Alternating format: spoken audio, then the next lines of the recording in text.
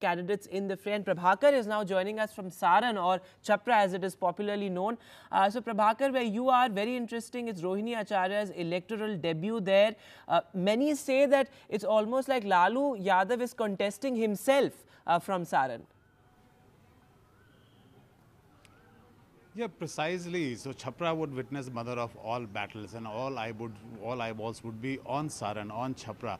The reason being that Lalu Prasad Yadav has chosen this constituency for a political launching of her of his daughter Rohini Acharya. Remember Rohini uh, came into news and, and people started knowing about her when she donated her kidney to her for her ailing father when Lalu was ailing and he, he was under treatment at Singapore.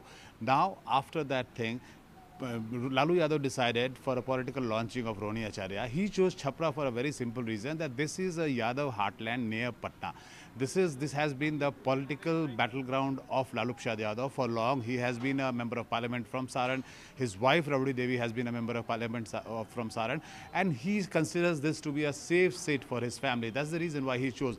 Although uh, the fact remains that for last 10 years, that is for last two terms, Rajiv Pratap Rudi is representing this constituency.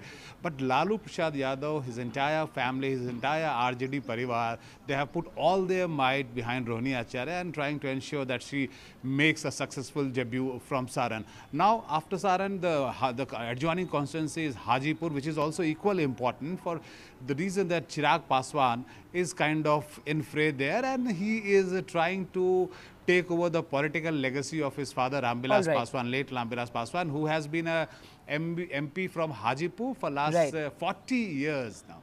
Absolutely. And, and Chirag is, is, is making a debut there. Prabhakar,